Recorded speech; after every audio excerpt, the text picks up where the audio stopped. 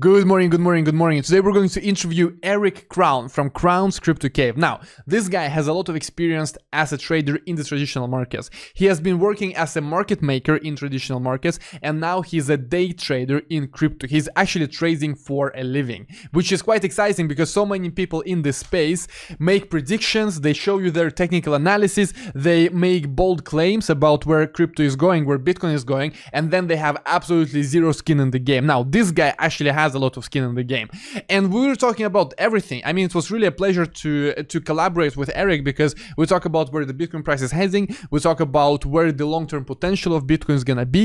We're talking about manipulation in the crypto markets. We're talking about market making, why that's important. We talk about so many different things. It's really difficult for me to communicate to you in a few seconds how much value this video will contain. But I assure you that you will learn a lot Follow Eric's YouTube channel. It was a pleasure collaborating. Let's get into the video, guys. Okay, Eric, welcome to the show. Today we're going to discuss the markets. We're going to discuss the importance of market making, how it works. We're going to discuss where Bitcoin is going, where altcoins are going, and everything in between. Really, I don't know what we're we're gonna end up talking about, but it's amazing to have you here, Eric. What's happening? You're in Finland right now, right? What is happening? Yeah, yeah. Hey, pleasure to meet you as well, Mr. Ivan, and pleasure to meet all the people here on the tech family. Yeah, hanging out in Finland right now. Uh, travel the world. Been traveling the world for the last uh, Jesus uh, three four years, and uh, right now in Helsinki, Finland nice little backdrop behind me. If uh, well, probably can't see it right now, but yeah, man, absolutely loving it right now. The uh, good old naturey, holistic feeling of uh, Helsinki, Finland. Nice, nice. So you're in Scandinavia. I'm also mm-hmm. in Scandinavia.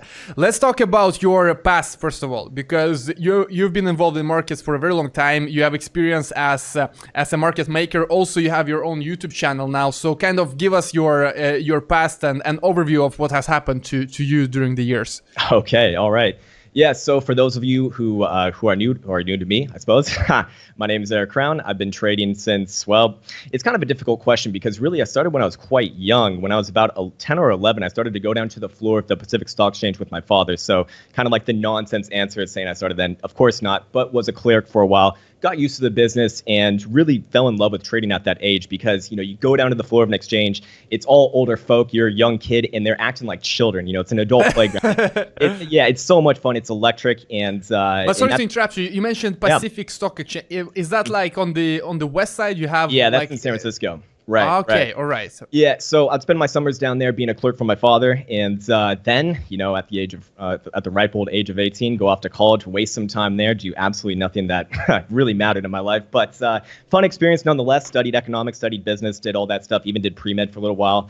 Um, eventually, after about six years of college, figured out that uh, don't really want to be doing this anymore, and uh, went down, went back over to San Francisco and harassed one of my family's, uh, harassed a family, a family friend essentially, who I met through uh, my father, who is now on the floor of New York Stock Exchange, ARCA, trading options. Essentially, he used to be a former options ma- market maker. Then he got into actually creating the software on how to market make. So I'd harass him to basically, well, teach me essentially in exchange. I'd do all of his dirty work and uh, and he became my mentor for quite some time. Great guy, absolutely amazing experience, and uh, that put me around some of the best traders. Of which I met another mentor who took me under his wing. This guy had uh, about uh, about about 35 years plus experience at that uh, at that point in time. He's getting on the older side. He'd seen everything at that point in time, and uh, I just felt so damn lucky to get in his good graces and get picked up by him. So he kind of took me under his wing, showed me, you know, showed me what he knows, and uh, it was just a massive learning experience the whole way through.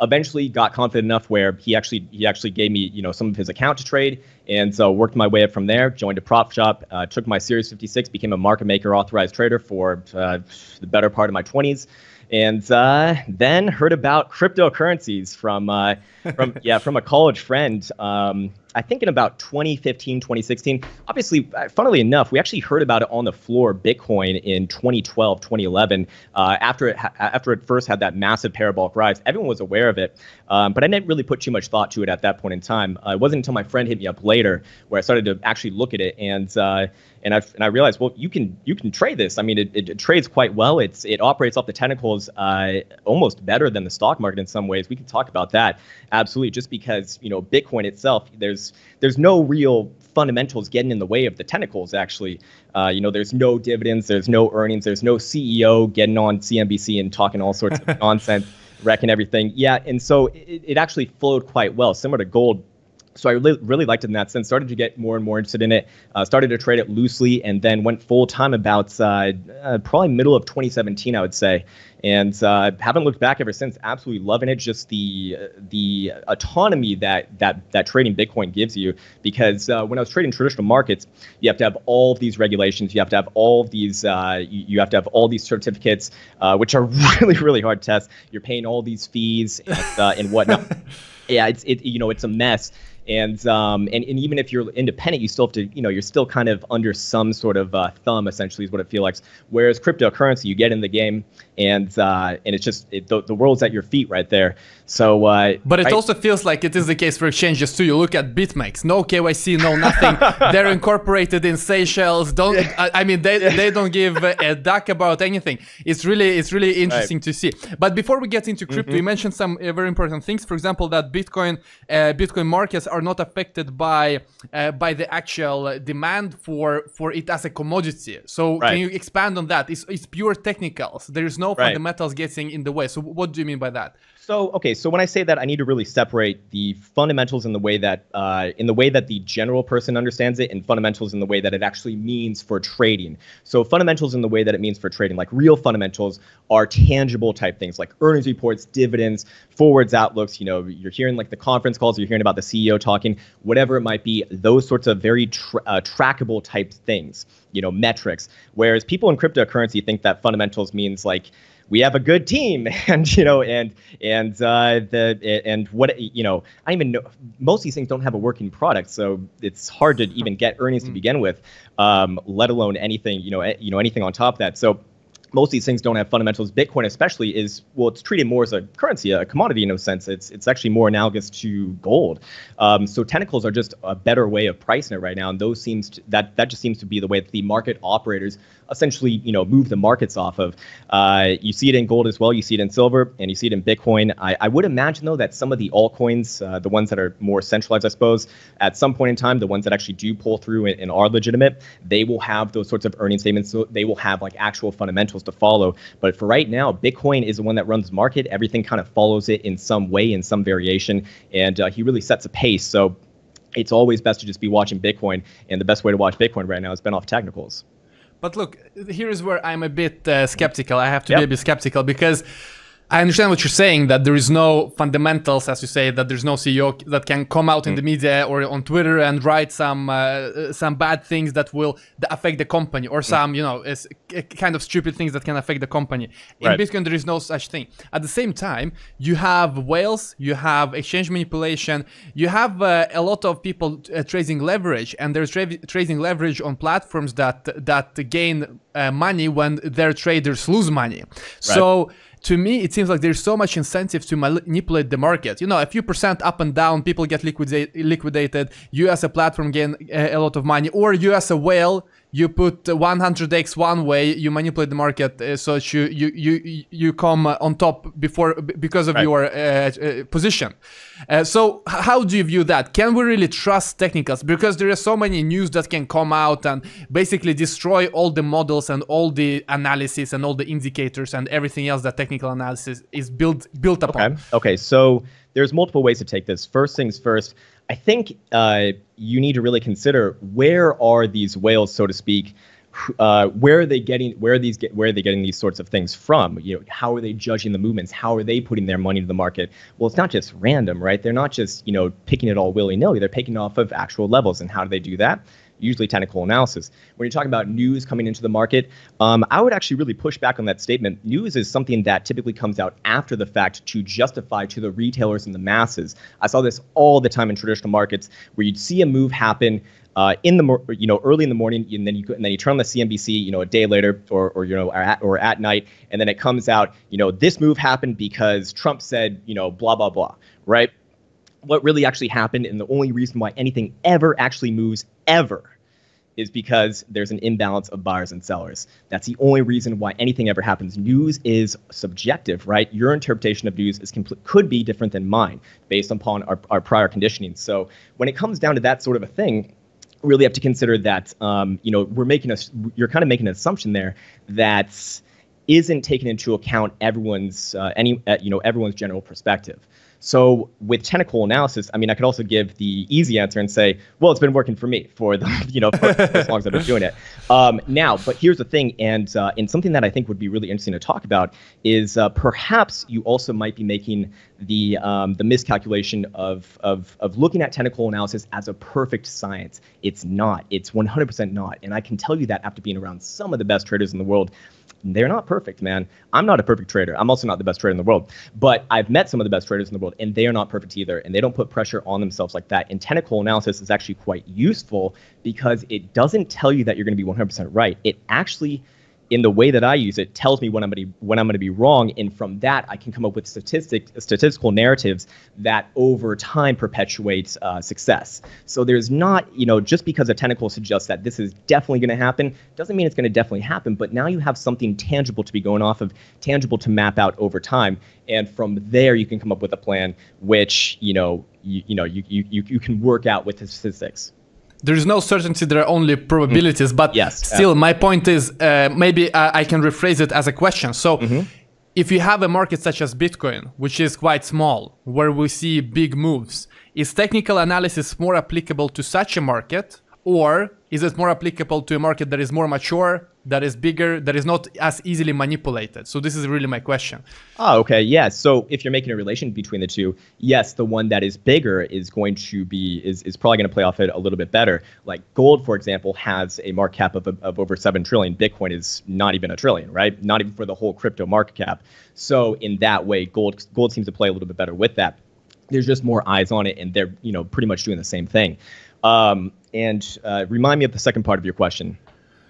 Well, basically manipulation, because manipulation. you might you might you might yes. have the best indicators and they're all showing one thing, but right. uh, obviously they cannot they, they cannot see that some kind of manipulation is coming. Wash trading when it comes to whales moving the markets, obviously they're also based on technical analysis, as you say, but still, right. the markets are easily moved. Right, right, right. Yes, one hundred percent.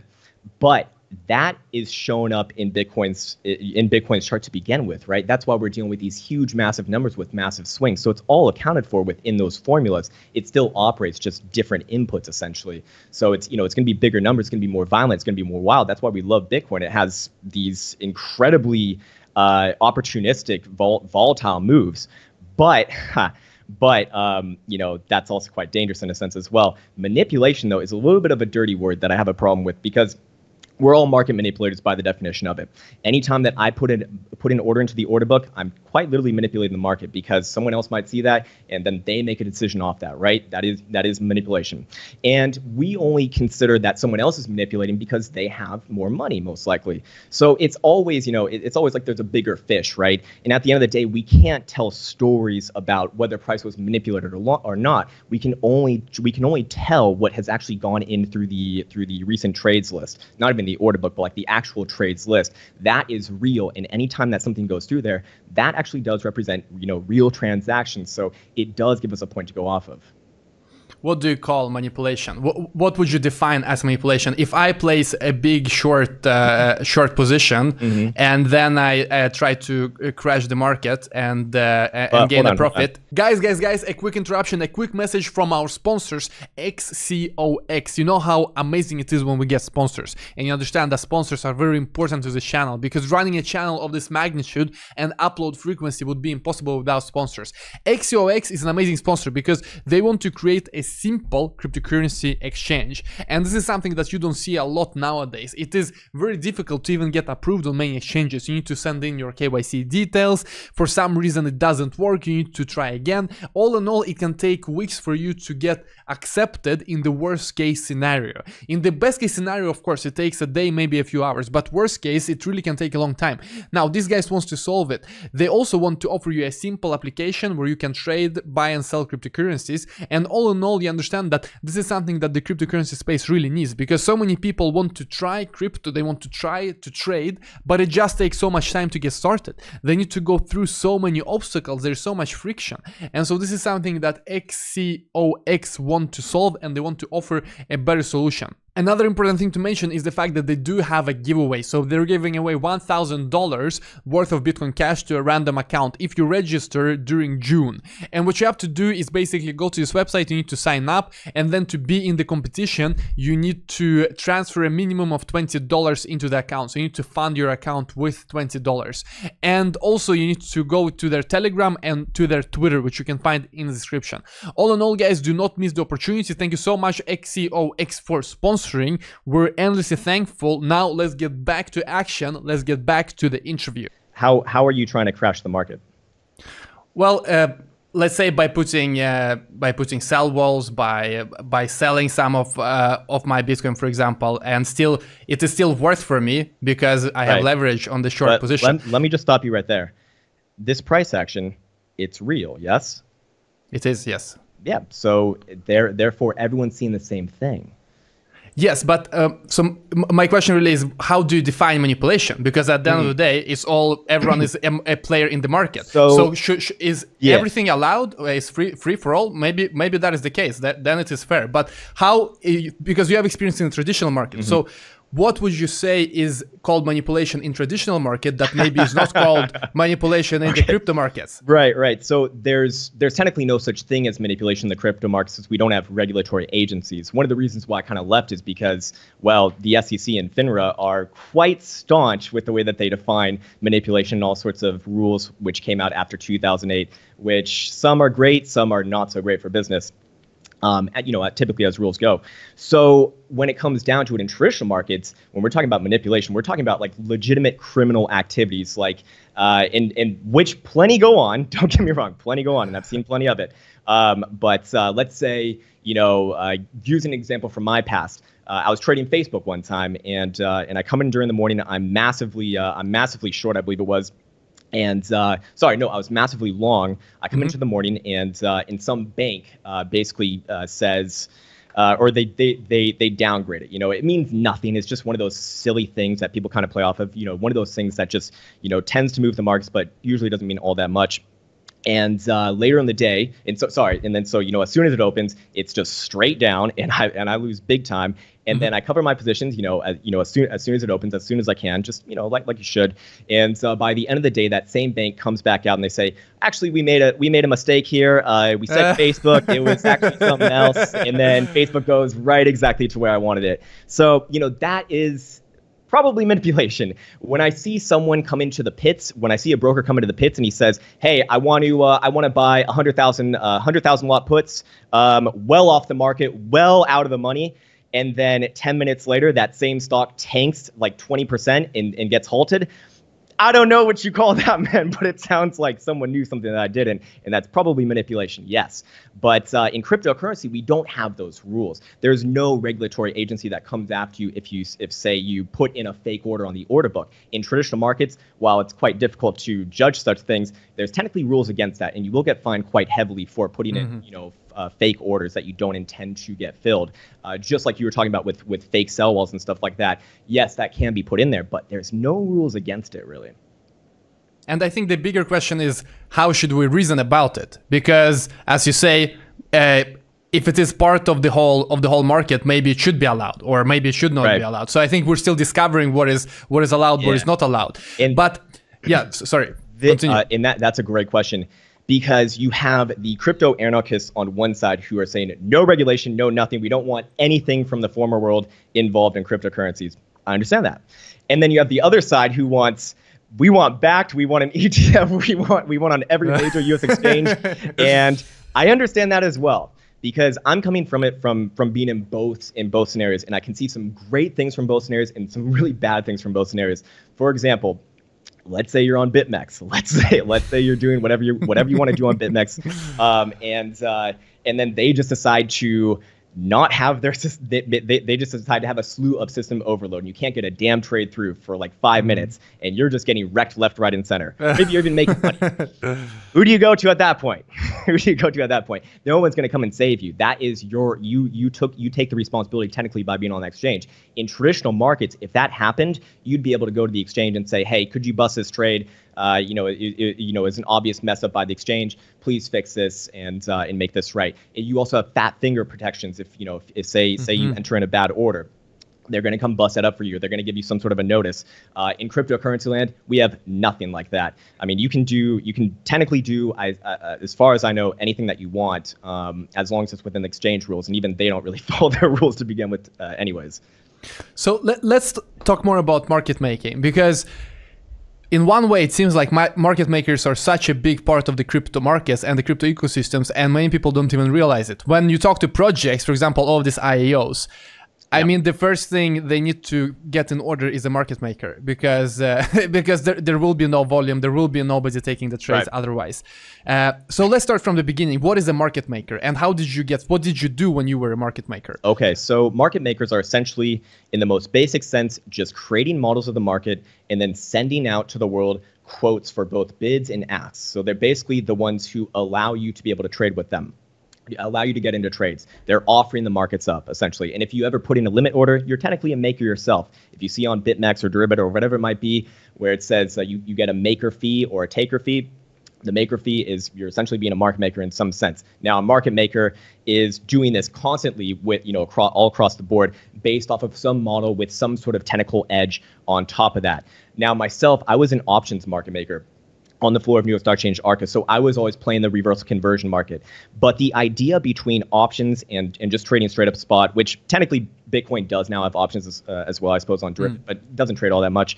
Um, not enough to make a difference right now but uh, but technically the idea is the same. Market makers are just looking in, or just looking to lock in arbitrage, what's called arbitrage. So they're they're trying to find some sort of discrepancy between the bid and the ask on multiple or, or on the same or perhaps multiple different assets. And for the very sophisticated ones, on like you know, thousands of different assets. I do know my friend's uh, firm who actually does do some market making in in, uh, in crypto uh, is doing all sorts of crazy things with like 200 coins at once, finding little finding little you know edges in there, and um, and that's it, it, but the idea is the same. You're just looking to lock in exactly at that moment typically instantaneously and ju- and you and direction direction independent. You do not care about direction as a market maker. You're only looking to to pull in you know very small amounts. You know a couple cents here, a couple cents there, and you know do it a hundred times. You know in, in, that kind of a thing. Maybe a little bit more than that, of course, but uh, you get the idea. So the market maker actually got a really bad name, and for some reason in cryptocurrency land, it's it's become like some sort of a meme. It's very strange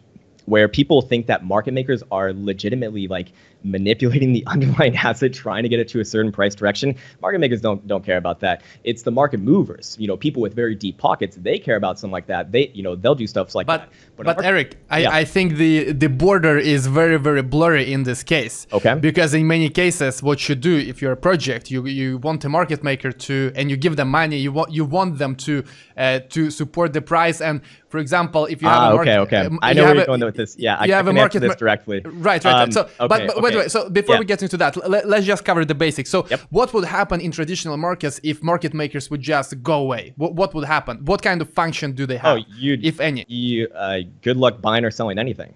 You can't get filled if no one's quoting these things. Right. So, but why can't we just have a normal order book? You have buyers, sellers meeting in an order book. Why is that not working? All right. So, re- typical retailer, do you think that they can hold up a market? They can't, man. They uh, they uh, they're typically playing with limited money. They don't have all that much. Markets would be screaming in both directions. Market makers are needed to provide the liquidity for both sides so that they can get their fills.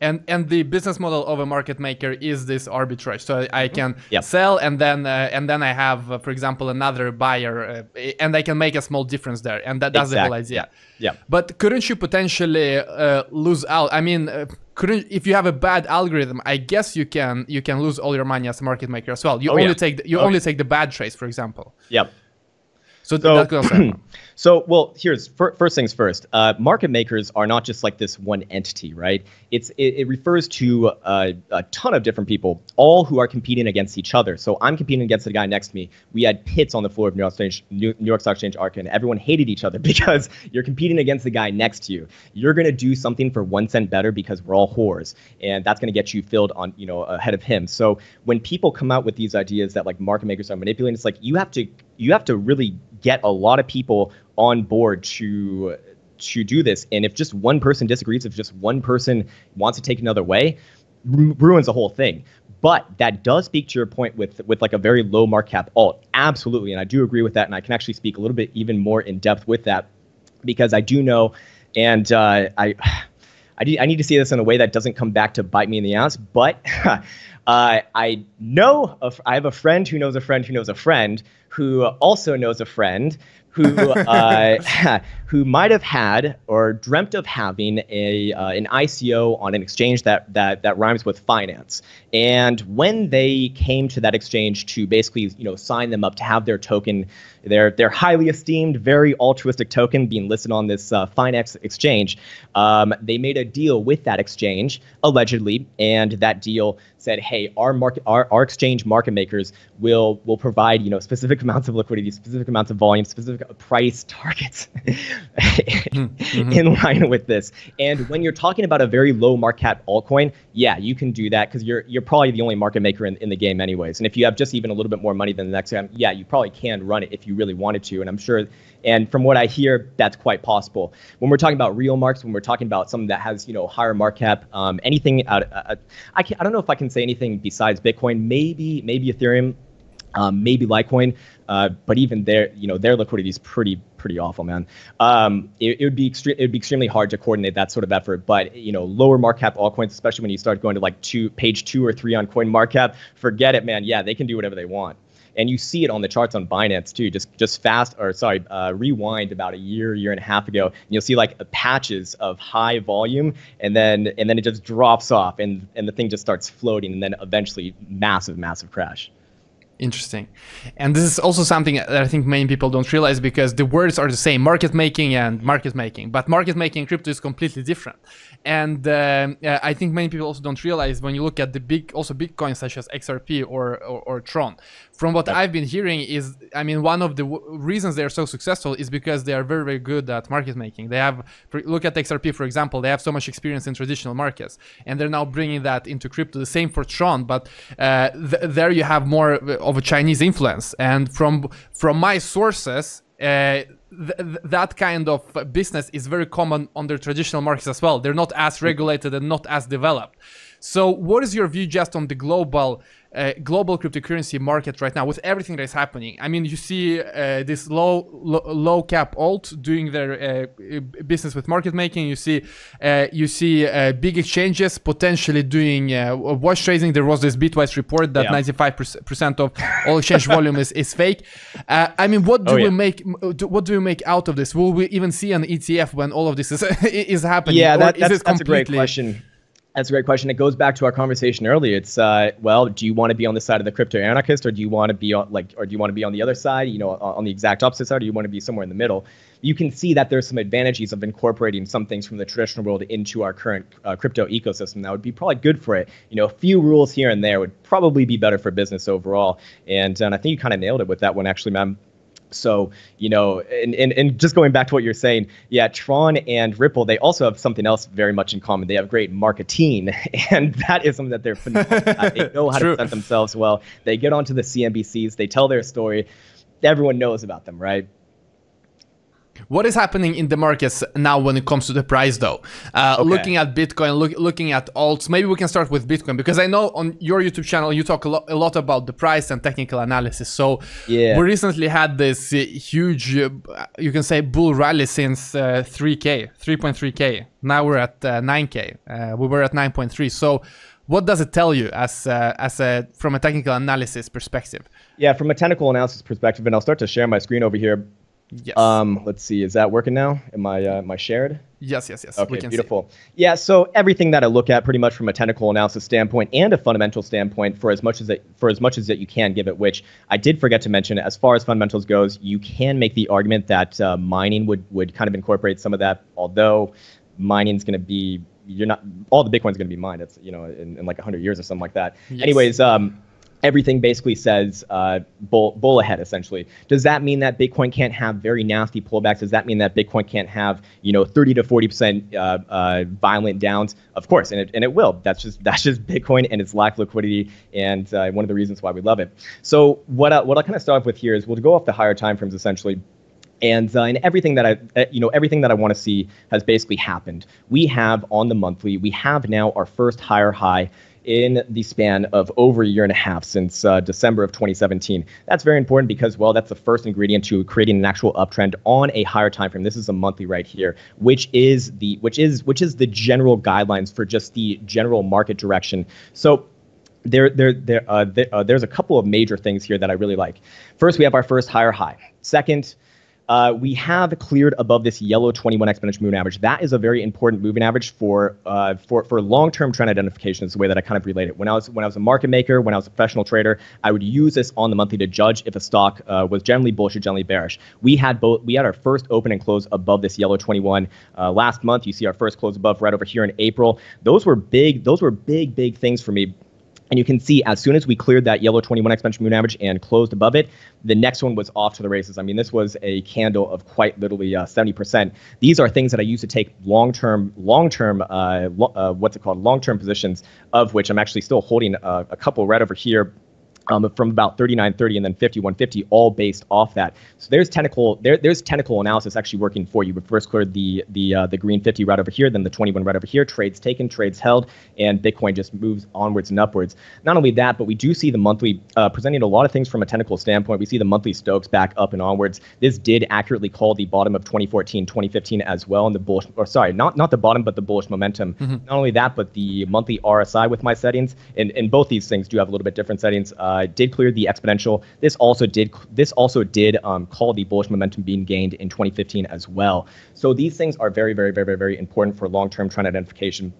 And, so uh, looking yeah. looking back just a few a few weeks ago, uh, right. could you could, did you manage to to call the bottom at least the bottom we've seen uh, the bottom right over here? Yes, yes, yeah. Yes. So no, I no. In the way that I trade, and again going back to that conversation of accepting imperfectness, I was actually uh, I was actually quite bearish in this region, but as we saw, the technicals told me to be a buyer, and I, like I said, I'm still holding this position right over here from about 39.30. Right. And that and that's and that's why technical analysis is is very very useful, especially in Bitcoin. Once we cleared above this area right over here, that was your signal to be long. So no, I did not call the bottom. Um, in fact, I'll never call the bottom. I'll never call the top. Just like over here, I did not call the top. I called the top right over here when we put in this local high. That's where I got out of most of the market, right around about sixteen and a half thousand dollars. So technical analysis again is not going to be perfect. You're not going to get the ultimate high or the ultimate low, but you don't need to to make to make to make a living uh, at all. And that's one of the big things that I've struggled with when I when I first started trading, man trying to be perfect will really, really, really, really, really put you through some uh, tough times because you'll you'll find out very quickly that becoming perfect is uh, is just about impossible, and uh, you'll experience some dark things trying to trying to follow down that path. Anyways, uh, back right. to the te- yeah, back onto the technicals. We have golden crosses and uh, we have golden crosses on, on, basically all time frames that I care about. Daily right over here, that's the green and the purple. And I'm using exponentials, uh, exponential moving averages, which are much more important for actual long-term trend identification. Uh, we got the golden cross right over there. We have all lower periods trading above higher periods. You you know that intuitively that that does tell you that the long-term direction is up.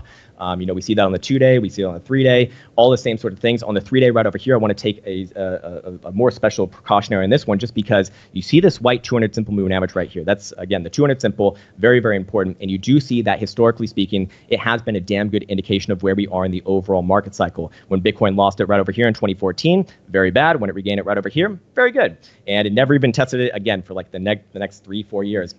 And same thing right over here. We lose it right over here. Very bad. That was actually my, my impetus for taking a short at 6,300. Regain it right over here. That was my impetus for, well, it should have been my impetus for uh, for creating another long. Instead, I just held on to my long. So we have the golden cross on this time frame as well. We have the yellow 21 cross and above that. Everything's looking good from this sort of perspective. Not only that, but we do have something else that I do uh, uh, uh, that I do tend to, uh, not a huge fan of it, but it does help get the long-term trend. And uh, this is the super guppy you do see that it's been pretty damn accurate for Bitcoin. When it when it turns green, it stays green for a long time. When it turns red, it stays red for a long time. And uh, you see that we've actually just turned green once again, uh, quite recently, right over here uh, at the end of May.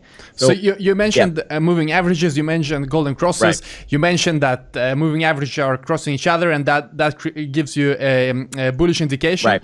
Uh, and now you also mentioned this final in indicator, which was was was a super super oh, what? Oh, that that's a super guppy. It's actually just a what is that? Different moving moving averages as well. Ah, okay. Yeah, Alright. and the thing is with the moving averages, um, a lot of people for whatever reason give them kind of a bad rap, but uh, I can tell you from firsthand experience that this is what the big market movers, this is what big hedge funds and uh, long-term people are using to kind of judge um, the the uh, the overall health and the overall direction and how they're going to be putting their weight into the market. And those are the people who actually do move the markets. They have enough coin, uh, well, literally in this case, uh, to to move the market. So when they put their orders in the order book, that's when that's when you know subject A on on crypto Reddit starts saying that sounds like manipulation because they've never seen hundred million dollars going to the order book before. Well, those are the people who are doing it, and they are the ones who are going to move the market. Absolutely.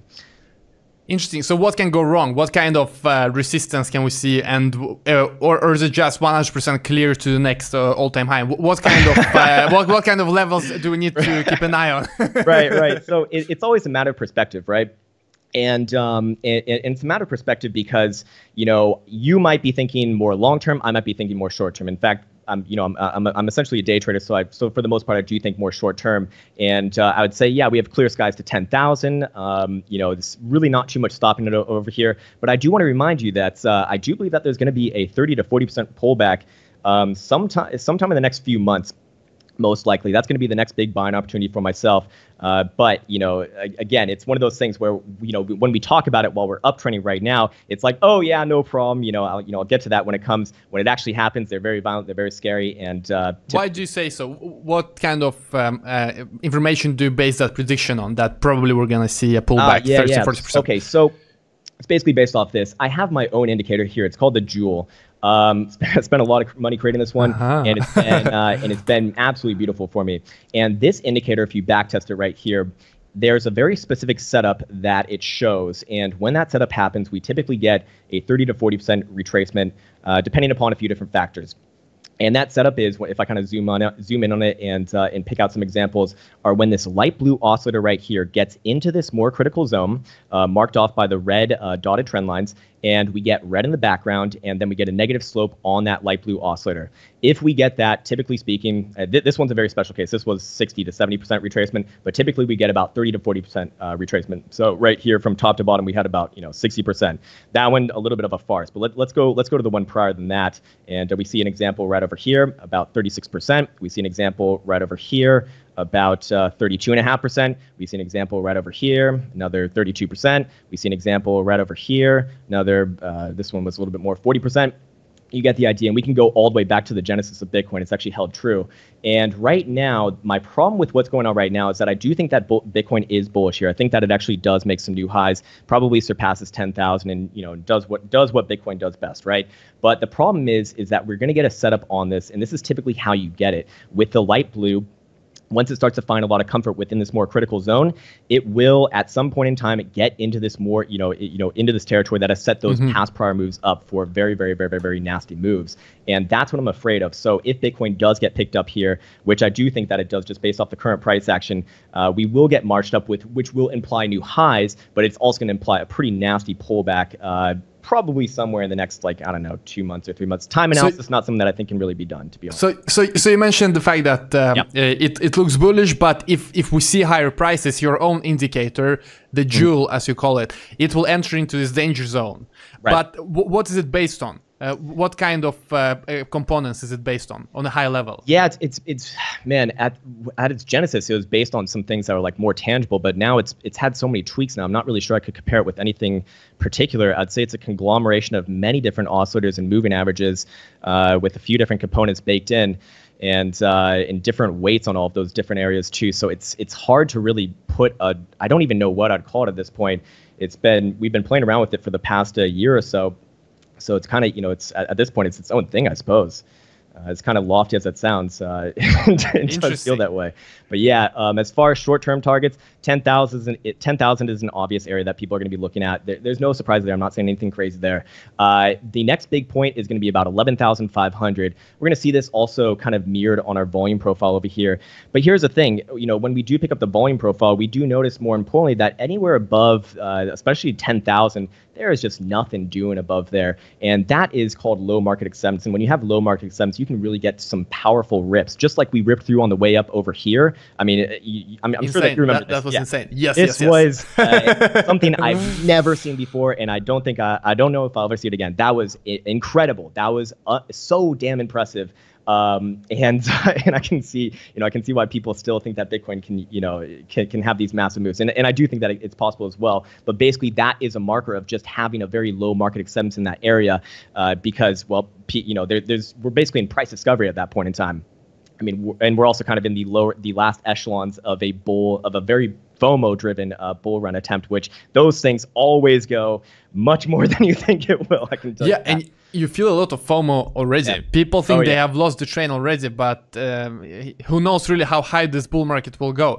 And uh, so the, the way I understand it, you mentioned that on in the previous bull run, Mm. we did not have um, uh, any previous. We weren't. Uh, pre- previously at those high prices obviously because Right. the the bull run of 2013 that ended in 2013 went only to 1k and Uh-huh. so everything above that is new territory now until we reach 20k it is not new territory because we've already been to 19k and and, and back so do you think that this time the path from 10k to 20k will be more slow because it's it's more i mean we have previous prices from from that uh, uh, fr- from that range so do you think that the markets will be kind of more mature more slow more more careful or do you think we'll blast through all the way to 20k again Yeah, so um, yes, I do think that it relatively it'll be a little bit more slow. Also, just due to the fact that we have a higher market cap in general, which implies that more people are in this market, which implies that you have to chew through more people on the order book to you know force price action. Um, but I do want to bring up a, few- a few things here from a more long-term perspective to that point, and just talk about the general area. And I'm putting on my drawing tools here, and you see this dotted trend line down here with the red arrows pointed towards it. That's the Genesis trend line, is what I refer to it as on Bitstamp. You can see that when Bitcoin was below it right over here in 2011 and 2012, it was a, you know it was, it, it was a good area to sell on, and we were kind of like in an accumulation mode. When we broke out of it right over here, it was glory times for the next uh, few years. Bitcoin then then then does its thing, go, does a parabolic blow off top, comes back down, and bases on this same trend line, right? An amazing buy. Then we do something right over here in 2018. We broke through it on that move down below 4,000, which which Bitcoin did accumulate uh, uh, below once again, just like we saw right over here in 2012 and 2013. Once Bitcoin broke out back above it, that was my big big signal that something new was going on. We've really changed the overall uh, dynamic of the market as soon as we took out this area. Also, the 618 Fibonacci retracement. You can see that we have based upon it and tested it multiple times. Now let's actually take this one step further and go over here to my BLX index, which uh, will go into something that I refer to as the matrix. And I just want to show that this is kind of unprecedented territory right now.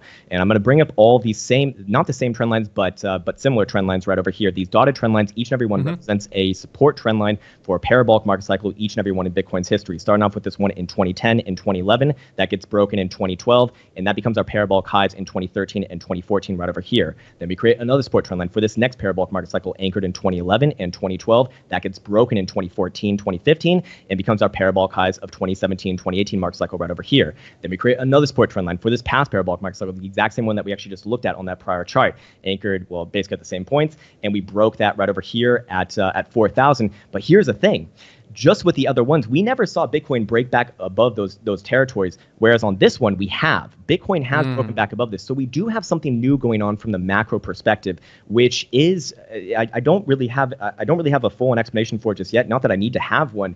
It's just it would tell us that this thing might be more bullish than I really you know first considered it's it, it- it's new territories what we're kind of getting into right now, and uh, this would imply that you know uh, likely glory times as well. But uh, remember, I, I don't want to be Mr. Permabull or anything like that. I want to be Mr. Uh, Mr. Opportunity and Mr. Hopefully hopefully in some sense rational, even though Yeah, yeah. Mr. money. But uh, yeah, um, you know, I do think that we're gonna have some pretty nasty pullbacks here. So uh, do, you know, do understand that uh, Bitcoin's volatility, uh, while while glorious in some senses, can also be quite painful. So FOMOing in, doing all that kind of stuff, it's always best to plan out your stuff, you know, days in advance. Really, I mean, there's there's no reason not to, especially if uh, especially if you're a retailer, you know, trading on the daily, weekly, you should know your trades well in advance. So how high do you think we can go in the next uh, bull run? there are so many opinions on this because So- I mean, one of the opinions I've heard is that the the relative peaks, the relative Uh-huh. all-time highs, are decreasing. So you look at, for example, stock to flow, and you look at how much the price deviates from the stock Right. to flow price in a, in a bull market, it has been going down. So although in absolute terms we we're blasting through higher and higher, and it looks like the bull markets are getting bigger and bigger, in relative terms they're not as big as before. So do you agree Right. with that? Yeah, I do agree with that. Absolutely, absolutely, man. Um, you can't expect those. You, I mean, you can't expect the same the same percentage gains as you had back here in Yeah, yeah. started as you know as you see right over here. And again, it, it goes back to that conversation of market maturity. We have more people in the market now, so things just move naturally slower.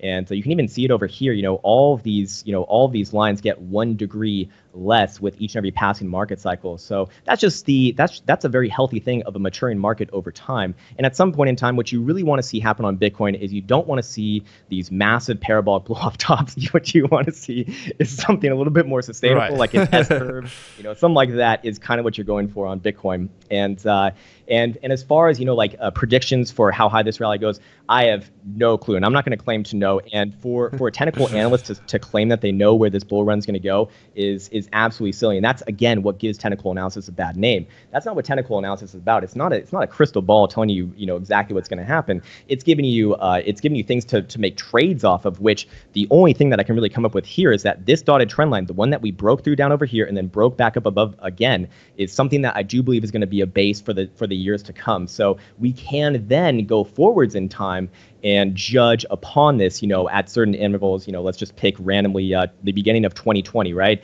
Uh, the, the the potential low would be about 12,500. If we go out another, you know, another year towards 2021, the potential low would be about 32,000. If we go out another year, you know, you, you, uh, you get how it goes. Does that mean that Bitcoin can't break below it? It can, absolutely, but that would also tell us that something new is going on, and we're probably going to drop down much, much lower. There's there's no talks of bull markets at that point. We're in a we're, we're in an obvious bear market, just like we were over here. But that's also, if you're a long-term investor, uh, a potential accumulation zone. Of course, it's not financial advice, not a financial advisor.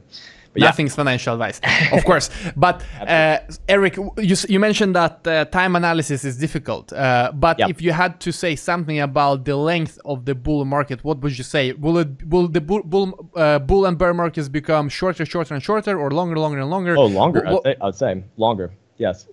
So Um, both bull and bear, bear markets will become generally Oh longer. yeah, yeah, and you and, and you know that to be true just because again we have we have more people in this market, so there's just more things to chew through on the order books. Uh, when we had 20, uh, 2014, 2015, this was this was obviously shorter than this guy right over here by actually just a small nominal amount, but. Uh, you know, it's, it's it's just one of those things. It's a sign of a maturing market and uh, should be welcomed. I mean, look at gold. Again, gold has a market cap of seven trillion, so it's much more it's much more mature in, in terms of that. Um, and it's you know, if we just pull out a chart right, right over here, you'll you, I mean, you'll immediately see that uh, gold's been in basically an accumulation phase, or maybe maybe not accumulation, but basically in a consolidationary phase for the past uh, five six years since 2013, right over here. Right, And that's that's that's that's what you're looking at if and when Bitcoin potentially gets to a level like that. I'm not suggesting that it will, I'm not suggesting that it won't, but if it did get, you could expect something similar like this, where it's going to take a long time to shake people out. You have to, you know, it's it's really it's really a much more involved thing. When if you, if we could actually fa- if we could actually rewind a little bit more, we would see that the market cycles were faster in the past. Yes. So that's interesting. Uh, well, I was in the previous uh, bull, uh, bull bull market. Uh, I entered actually at the top because that is when everyone was talking about uh, crypto. It was in 2013, and then we had this crash to approximately. Well, it went from 1k to approximately 200, and then we were in this boring time 2015, 16, and then 17. Right. Everything returned. Yeah. So you know, it was approximately four years from from one all-time high to the next all-time high, from 1k to 20k. So it took almost four years.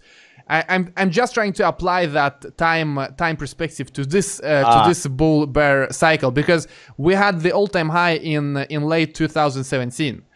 I- I mean, if you just take the old time frame, it would mean that the new all-time high will be approximately four four years later in 2022. But you also say that it's gonna be longer, so maybe it will be even longer than that. So what is your view on that? Just you know, the years. Is it this year, next year? When do you think we will see the new parabolic move and new and new move to an all-time high? If you had to guess, obviously it's, it's difficult. All right. So when do we get to twenty thousand and one dollars? Um, again, man, I, I, you know, I really don't know. I'd say probably, uh, it'd probably be a talk of, con- of consideration. I would think probably in the next year and a half to two years. But uh, again, I'm not basing this off, off of really anything Um, Right. That you know, it'd basically be doing the same so the same way that you've done it. Uh, the way that I look at it right now, as a trader, Bitcoin's bullish. I'm looking to be a buyer essentially on these major, massive dips, and uh, really not you know no more complicated than that. Uh, you know, if it, you know if and when we do get to that next level, well, I mean, we'll, we'll obviously have a greater idea once it gets closer. But uh, when I do look at the higher time frames, it does suggest it actually does suggest that we'd be getting there sooner rather than later. I mean, again, the uh, the monthly right over here, this this can rip if it wants to, and uh, if that happens, I mean, we could. I don't. Even, I can't believe I'm about to say this, but probably within a year. Um, so yeah, man, it's Interesting. It's, yeah, it's it, it's one of those things. So I would not be beholden to that statement, and, and please do not take that as any sort of uh, real thought being put in that statement. It, it hasn't on my behalf. Uh, you know, I'm I'm I'm certainly I'm just coming from this from the perspective as a trader. Wh- What about altcoins? Many people are waiting for the alt season Ah, the to start. season. And uh, uh, and in one way, I understand it that maybe people will be m- more excited about altcoins once Bitcoin gets going, and people think that altcoins will have even uh, even bigger upside. At the same time, I, I feel like people learn so much about altcoins in the last bull run, and it's it's gonna be very difficult to convince people that altcoins are valuable because just the excitement. are you know, telling me that? Are you telling me that these things don't are, are worth anything? What? Just the last bull run, people were so excited about the altcoins and people thought they're gonna revolutionize the world, which I think in many cases we will see a revolution within Oh, the yeah. internet web. But you know, maybe it's 15 years away. Maybe it's 15 years away, right? So wh- what is your view on that? Um, okay, so altcoins versus the dollar, the more legitimate ones, they're actually doing quite. They're, they're actually doing okay right now. But if you're plotting it versus Bitcoin, if you're trading altcoin versus Bitcoin, not gonna probably not gonna have a good time for a little bit of, for uh, for a little while here. In fact, I'm looking at a Bitcoin dominance chart. So this is the dominance of Bitcoin's market cap in comparison to every last little other uh, S coin out there, if you will. And when we look at this right here, this chart is screaming bullish to me. If the dominance is about to go up, then that just means that Bitcoin's likely to outpace these guys to the upside. If Bitcoin outpaces them to the upside, you're going to see uh, what's what's a good example here? Maybe uh, maybe this one. Uh, some some like this one just randomly comes to mind. Some like this, just straight down. And uh, And look, only- I, it's not like I'm a Bitcoin maximalist 100%, but I'm Right, just right. uh, I'm, I'm just looking at the situation. And while I think a lot of things are exciting in the altcoin space, the results are, are simply not there. Now it's exciting to follow a lot of cool tech, absolutely. But Yeah. I'm just wondering if because I think a lot of uh, of the fuel for the alt season last time came from this hope in altcoins that you know next year they're gonna deliver this and they will change everything how The the internet works. Right the roadmap's gonna happen next next year. I think Yeah. it's ju- just gonna be way more difficult and although we see interesting projects people are also way more realistic and they understand that okay it's, maybe it's gonna take five ten years because that is what I don't know, we've yeah. seen un- until now. There i mean beanie babies were like 20 years ago and you still got people you know telling you that those are worth some. Uh, there's still people who think silver is going to go to the moon man. It's uh it's it's you know people become people become have like this weird gang like mentality with with uh with looking at altcoins i feel like. Um and uh, it becomes like an identity. And when you have something like that you can't really ever destroy it because you can't i mean you can't destroy an identity right? So you know, do I think that altcoins are altcoins not going to be as profitable this time around? Well, I'd say that this chart would suggest so. At least Bitcoin's about to take the spotlight for a while but they will go up versus U.S. dollar. Um, even the less, even the less uh, good ones, um, likely go up versus U.S. dollar. And that is one of those things with the overall market cycle. A rising tide lifts all ships. So Bitcoin going up does actually benefit just about everything in this market. Um, as we saw at the end of 2017, and I'm sure that you saw your, you know, a crop of uh, of highly of highly esteemed coins as well in uh, in 2014, 2015 as well. Same thing there. You know, they fall off the market, and then we just get new ones, and those ones have new promises to to give everyone, and uh, people just get swept up in it because you know people see this, uh, or, or at least I feel a lot of people see this as some sort of a get rich quick scheme. Well, the problem is that if if it's if if it's ever a get rich quick scheme, it's that person doing it against you. Um, if if you know if you're reading the white paper as like a sales pitch, it's probably not, it's probably not good. And Uh, you know that is why altcoins will never die because you can always make a new one it's very cheap you can make it in 20 minutes on ethereum like in 5 minutes Yeah. even Yeah. and um, there will always be people who want to get rich uh, exchanges will always list them because they Mm. want transaction fees CoinMarketCap will list them because they want visitors and um, uh, that's why altcoins in my view will never die because it's, it's even in in this way it's even better than a penny stock because a penny stock can go out of business you know they can Yeah. actually become bankrupt, and altcoin can, they can never. never thought I would heard those words uh, put together, but yes, you're 100% right, man. 100% right, Ivan. And uh, and you know, I, you know, I, I think the general case for altcoins will, will will diminish over time. I think that people will catch up onto that, but they're never going to actually like truly die. And I think it'd be quite naive to say that they're all garbage. I mean, I'm sure that there's going to be some Absolutely. incredibly yeah. successful ones, uh, but do I know what they are? No, absolutely not. Um, but uh, you know, I, I, think it'd be naive, not, uh, naive to say something like that. Uh, there's certainly going to be some very successful ones alongside, you know, likely likely something like Bitcoin and uh, and perhaps a few other ones that you've seen stand the test of time so far. Absolutely. Absolutely. So, what is happening with you right now, Eric? what is your goal? Do you have a YouTube channel? Why do you, why do you spend time on YouTube? What is your future uh, that you want to build for yourself? Yeah, man, that's that's a great question. So, yeah, I started this YouTube channel um, about a year ago, basically for quite a personal reason, man. It's kind of embarrassing, but uh, if I just stop sharing my screen right over here, or did I stop sharing it? I'm not. I'm not quite. Yeah, yeah, yeah. You're back. You're back. Yeah. Okay. Cool. Yeah. So started my YouTube channel really because I've been trading for a while on my own at that point in time, and uh, I got lonely. I was really. Oh yeah, yeah. my YouTube channel is called Krown's Crypto Cave, and I quite literally felt like I was living in a cave, man. Just waking up, trading the day away, and it's you know you have no real social inter- uh, interactions. And so uh, you know I'm coming from a more social environment from the floor, you know, you know New York Stock Exchange, ARCA, and we had people around us all the time. And even though it could sometimes get quite tense, it was very nice to be able to bounce jokes off of other people. So started this. And YouTube- also now now you're in Finland, so good yeah. luck finding friends.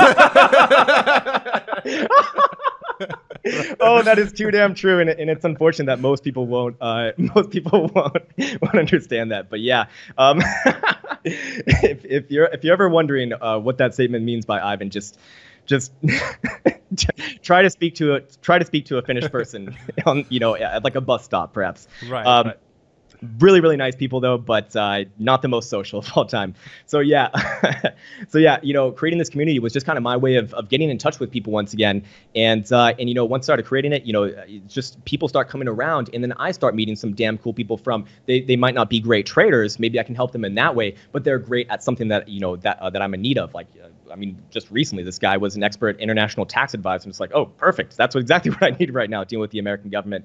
So you know, those sorts of things uh, really, you know, became like a self-perpetuating uh, prophecy, I suppose you could say, just because, you know, at first it just it just started off like a, as a small community thing. Now it's now it's like there's a gent, there's it feels like we're going somewhere, and um, you know, it's, it's just been a pleasure to meet everyone and uh, and you know and, and get in touch with people from all different walks of life and learn their stories, learn you know learn something that they have because everyone has a unique story, man. Everyone has a unique story.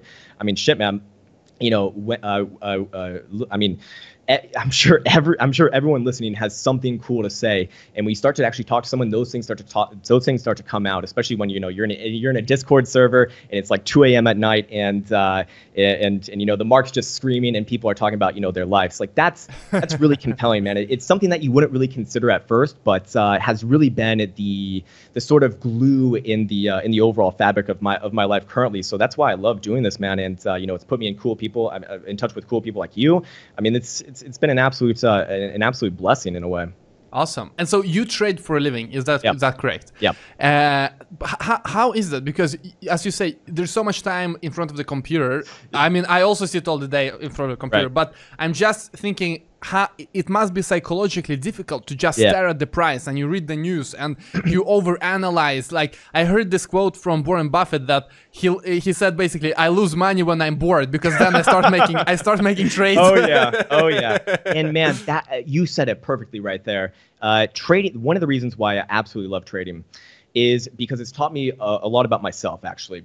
Uh, when you're in a fearful situation, when you're dealing with like legitimate adversity and you have to think on the fly and all that good stuff, you will learn exactly what you're mad out of and you're going to learn what you're deficient in as well. And then you can actually go and, and, and, you know, build those areas up. And that's the very fulfilling part of doing this as a living is you can have actionable, uh, actionable and documentable you know metrics to be going off of to judge these things over time and that's uh, one of the one of the best gifts ever really uh, to feel autonomous in that way or, or at least as much as you can, because you never truly get there. It's, it's a path of mastery, so you're never like you know 100% there, but but you're always on it, right? so yeah, man, you know, getting those sorts of situations. I mean, I, I uh, one story that every trader has in common that I've met, uh, from uh, from all the professionals to myself included, is we've all gone through incredibly difficult times, uh, taking usually like a big loss, like a massive loss. Um, you know, myself uh, was was basically like a little bit after I started in traditional markets, thought I was good, thought I, thought I was you know I, I was indestructible because I had mentors who had been doing this for for ages, and uh, you know what happens to me, I end up I end up broke. I, I basically blew my account. And so what happened after that was the most powerful experience and what led me to where I am today because I had to kind of, you know, step, take a step back, stop crying on a couch, you know, that kind of stuff, man, because it, it, is, it is quite uh, it is quite devastating when you lose all your money, um, and, uh, and and then kind of regroup. And at that point in time, my mentor came to me and he knew what was going on, and he basically just gave me some words of advice. He just said, "Hey." I've gone through this as well. There's been there's been a couple days where I've lost a million dollars in just one day. It's devastating, but here's the thing we all go through it, and you will learn something from this. So if you can keep on following the process, following the path, you will only benefit from this. And I really took that to heart. And it, it was very difficult at the time. Don't get me wrong; it, took it took a while. But uh, but at that point in time, I, I, did something that I probably wouldn't recommend to other people to do. But I took out a massive loan from the bank, took out uh, basically maxed out all my credit cards, and uh, funded funded another uh, another account. Also also took a small loan from my father as well who wasn't in a position to lend me a loan at the time. And, uh, and I basically built up account after that with all the knowledge that I've gained from that massive failure telling me, hey, you don't know what's going to happen in the market. You aren't better. You aren't, you, you aren't better and you don't, you, you, do, you can't, the market's always going to be right. You can be wrong. The market's always going to be right. And don't fight that fact and that's what that's what I hadn't learned. So after that, I was able to incorporate that after you know fully digesting it, and then from there, uh, integrate it and well be be where I am today. And it was it was actually quite nice to talk about this story just because uh, a little bit more recently, or about I guess it was last year now. Time's flying. Um, was able to actually repay my father back uh, double you know double what he gave me, which was just uh, it was a great you know coming coming circle full circle whatever you want to call it. Um, and uh, you know it's it's that that sort of thing is just uh, what I love about trading as a living man and, and, what it's taught me psychologically speaking. I don't read books on trading. I, have read maybe one, hated it. It was it was not useful at all. Uh, I think experience, direct experience, is much more useful. But what I do read a lot is books on psychology because you will need that mm, in trading. True. Learning technical analysis, learning learning like the actual uh, fundamentals of trading, anyone can do it anyone can do it. It's quite easy. But dealing with the emotions that come when you're actually in a trade and judging all of that stuff, that's what trips a lot of people up. So I, I, think many people have a basic understanding of technical analysis. They know moving average, they know candlestick formations, they can kind of see patterns, head and shoulders, bar, this and that. So what is the next step? Because so many people know that, and then they just uh, maybe they watch just people on YouTube, maybe they watch you, Tone Vays, someone else, and they never really become independent. And when you are right. not independent, I don't think you are really a trader. You're just following Absolutely. someone else. So what is the next step? Because obviously you cannot just you cannot be this brilliant trader by using what everyone else is using and just following everyone. So Absolutely. How can you develop? Yeah, and, and that's a big thing that my channel is focused on. I'm not a signals guy. I don't want to be seen as a signal guy. I'll tell you all my positions. I'll show you literally, literally actually, like, like I've shown you here, um, and I'll tell you what I'm going to be doing, and I'll tell you why I'm doing it. But I'll also tell you this: this may or may not be applicable to you. We all have different preferences, so you don't want to follow me. And I'm also not perfect either. I'm going to take losses. You know, it's going to happen.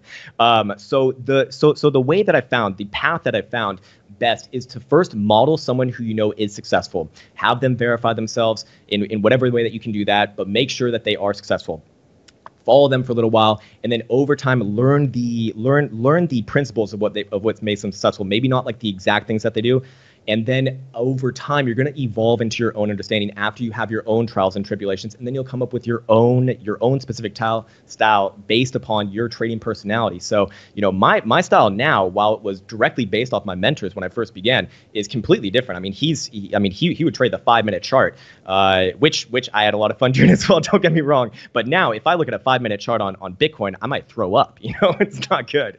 So yeah, man, I'd say that that's you know that's that's probably the next step for most people. But as far as like a more actionable type thing, I suppose you could say is uh, yeah, you learn all the indicators, you learn all the stuff, you learn what works, you learn what don't doesn't work patterns in Bitcoin, perhaps uh, head and shoulders in Bitcoins, perhaps. Um, and uh, but the next big step for most people is risk management, understanding that again, this is a game of statistics, statistical setups, not of perfection. So you will have to take losses, and you have to know where those areas are on the price action that tell you that your idea is going to be wrong, so you can judge what's you know, you right. know if, if this trade's worth staying in or not. And so you mentioned, for example, the five minute uh, minute chart and um, uh, and and, uh, and others. Uh, but yeah. which chart do you do you normally use? What is your prefer- preferred one? Yeah, so it depends what markets I'm trading. If it's uh, forex, I'll trade I'll trade the very low time frames, five to fifteen. Uh, traditional markets, same thing. but cryptocurrencies, I found I found the most success and the most um, the most bang for buck typically on the 12 hour to, to two day actually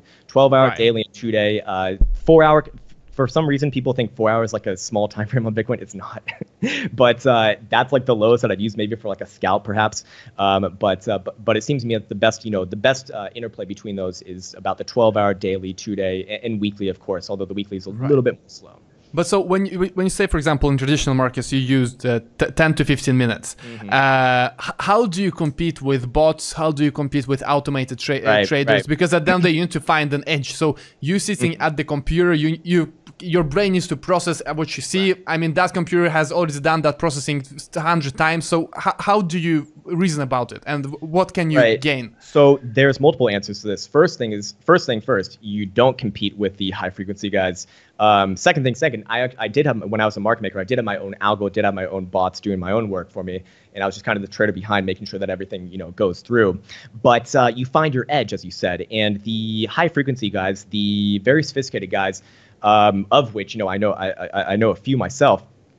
They are playing a much different game. They're probably playing a game of high frequency trading and some sort of some sort of arbitrage within there, and they're basically just looking to lock in like literally not point not not not one penny, you know, per trade, but do it 100,000 times in a second before anyone even sees it on another exchange. There's a race, uh, just as a fun fact, there's a race against time to be as fast as possible in like the six, you know, like six decimal places past zero, uh, you know, uh-huh. to be faster in there. And what people do is like they, they, they try to set up their servers next to the you know next to the exchange servers. So uh, so everyone has their their their their, their computers remoted in from like New Jersey and uh, in America. And I think like if you're in uh, if you're using uh, BitMEX or BitMexico as I like to say, uh, I think I think their servers are like in, in Ireland. But uh, but those guys are playing a different game, right? They're not looking to capture direction. They're they're pretty much direction independent. They are trying to just lock in that arbitrage immediately, taking pretty much no risk and uh, and be in and out with extremely small amounts, but but many many many many many times. Whereas I'm going to be playing direction more often than not. When I was a market maker, not as much. Although I did have the skills of technical analysis, so that did allow me to do a little bit more with that. Um, but nowadays I'm playing just I'm I'm doing just straight up direction, or I'm playing with options to begin with. So options are a completely different rabbit hole. That's what I'm most comfortable with because well I was I was an options maker for so long, um, and uh, and those in the way that I like to say it allow you to be wrong on spot. So I can jump into a trade, be wrong, and still make money with options. That's the beauty of them. It's completely mm-hmm. different, uh, completely different thought process. So it's just about finding your edge, really. And right now, that's that's kind of the beauty of cryptocurrency land is there's not that many eyes on it compared to traditional markets you don't you don't have like the super super souped up uh, you know prop shop group who's paying develop like world class developers, world class mathematicians, all these guys uh, millions of dollars a year plus eh, uh, you know just to kind of sit there work on your algo and make sure it's as good as possible so that they can go mess with the you know uh, mess with the firm next door that's you don't want to play against those guys. You're going to lose unless, unless you're one of the you know unless unless you're one of those guys. And so, what would your advice be for new people? Let's say they have you know a few thousand to to play with this to just learn. Should they go to BitMEX? Should they use leverage? No leverage? Should, what should they do? Ivan, what is? Can't say those words, man. Um, I, if, if, if you're just starting out, if you're just uh, if you just want to learn, don't don't put any money at risk. You can trade on test. You can trade on testnet. You can do a paper trade. It'll operate the same. Yes, yes, the emotional impact of it will be different, but you don't you don't need to worry about that right now. Don't listen to the people trying to trying to swindle you into like trading right from the get go, putting real money at risk. There's no reason to. There's absolutely no reason to and uh, and you're going to learn a lot just by watching things operate in real time. What does it feel like to put in an order, especially on some like if you do go happen to trade on BitMEX, what is it like on there? It's very difficult to get it in, um, but uh, you know you get my point. You get used to it over time. So you know if you are newer, take it slow. There's no rush. The market is an endless stream of opportunity, and uh, it ain't going anywhere. So use fake money. Where can you do that? What what, what is your favorite yeah. um, platform? Uh, Deribit actually. I love Deribit. Deribit's probably my favorite one right now for uh, for cryptocurrency. You can just you can actually trade uh, options there too and futures for Bitcoin and uh, and I believe Ethereum as well. Uh, and they also have a test net. So I think you just type in like testnet Deribit on Google and uh, and it'll be, it, you can sign up for an account there. You'll be able to basically trade without any real risk. So, what is your view on leverage? Because. I can understand why it it could make sense if you do like 2x, maybe you do 5x. Mm-hmm. Then 100x, of course, is more gambling because the price moves 0.5% in the wrong direction. You lost 100% of your money. So that is gambling. And I understand why BitMEX has it because that is yeah. where most of the money is made. But still, do yeah. you agree that uh, you know 2x, maybe 5x still can make sense if you can risk manage it and you can make sense of it? Right. Yeah. So leverage leverage is a tool that that is very very powerful if you know how to use it. However, the way that most people think of it is exactly as you said, as a gambling tool. Most people are just trying to gamble with these sorts of things because it's easier to go on BitMEX than uh, than say Vegas, right? It's far away. Um, so what what are my thoughts of that? I'm, I'm not a fan of it. I mean, people who choose their leverage from like a slider that goes from zero to 100 is so insane. That is so insane to me that you can do that, uh, especially with Bitcoin's already volatile moves. I mean, all the way up to 100 100x, 100x. That's insane, man. Um, you shouldn't need any leverage.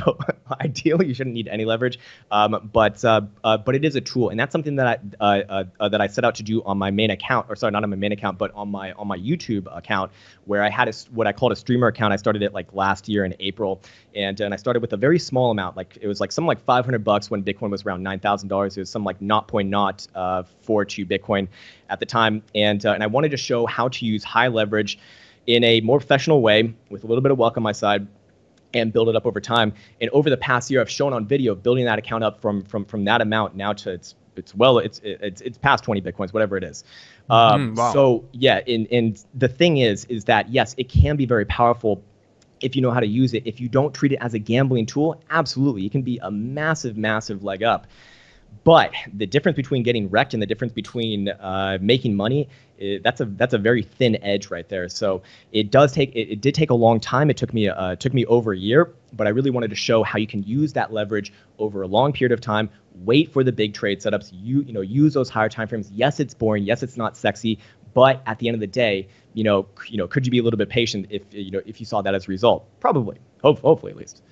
So some people say that the the bear market is not over. We're gonna go to 1K. You see Tone Vays, you see uh, other people in his uh, in his uh, sphere also saying that. Yeah. So uh, do you agree or do you not agree? Because I, I, had him on the channel a few times. He's a very nice guy, and he, he explained his thoughts. So uh, obviously he he's using his own models. Right. I, I, know that you trade for a living. He said himself that he doesn't trade for a living. Mm. So what is your view on those opinions? Do you see any validity in them, or or are they just completely wrong? And why do you think they are wrong? What what kind of uh, what kind of wrong data do they have that you, that you don't have?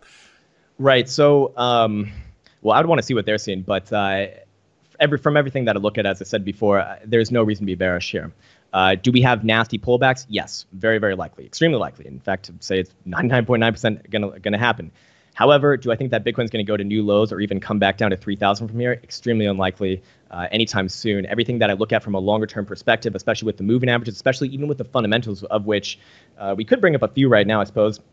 Um, uh, let me just go back to the share screen. And uh, whoops, I don't think I'm doing it there. Let's see, just one second. Ha, I'm new to Skype. No stress, no there stress, we go. no stress. Alrighty. Yeah, so um, even the fundamentals also suggesting a major low. This is your Bitcoin uh, Bitcoin miners revenue. Uh, this, this, this chart represents Bitcoin miners revenue. So it's a fundamental chart in a way, or at least the closest thing that I can really come to on a fundamentals. And uh, you see over here, if we actually just do a little bit of very basic technical analysis, we're going to come up with something. And I'm going to I'm to cheat and put on my trend lines here. But basically, each and every one of these trend lines represents the top of a parabolic run. And then that becomes the bottom of your next cycle, right? So this one right over here becomes the lows right over here. This high right over here becomes the lows right over here. This high right over here becomes the lows of our current cycle, right? Well, mm if we actually match this up with price action, uh, let's do Bitcoin USD, maybe on, uh, I guess we need to do BLX, huh? Yeah, let's do BLX. Um, and if, if we match these up and put on a Bitcoin chart in the background, hey, what's going on here? That's uh, that doesn't look right to me. Let me. Uh, oh, sorry, that's that's that's the wrong one. Uh, there we go. Just one second, and uh, we're going to overlay a chart of Bitcoin in the background. using Bitstamp. It's represented by this by, by, this cyan uh, line chart essentially, and you do see if we put this on logarithmic scale that uh, these areas accurately match up with the bottoms on price action. So this area mm-hmm. right over mm-hmm. here getting retested, boom, that's your low right. That's your low right over there. This area right over here getting retested, that's your lows of 2014, 2015. And what do we have so far right over here on this area getting tested? It's currently our lows right over here. Interesting. So interesting that would be a nice fundamental thing. That's probably the closest thing that I can really come to from a fundamental perspective on uh, on the low. We also have price models right over here. So this is using a bunch of different metrics, uh, typically are basically uh, focused around uh, different market cap metrics and also the NVT signal, which is the network transaction value um, and uh, and this guy over time has been a pretty damn good indication of where we are as well. When you see all these guys converge on each other, that typically calls the lows, like right over here, right over here, and now we do have this going up right over here as well. In fact, not only have they not, not only have they converged on each other, but they're actually having an ups an upward slope. So that to me is quite powerful.